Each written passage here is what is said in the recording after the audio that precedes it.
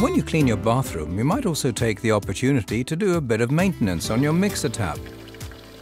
Turn on the water and twist the temperature dial backwards and forwards a few times to prevent the thermostat getting stuck and producing inaccurate water temperatures.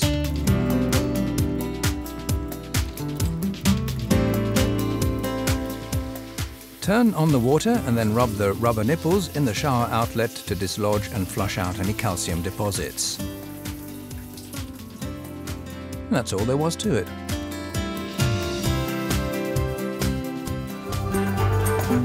Ask someone who knew me. They will never be the same again. They tell their lies and something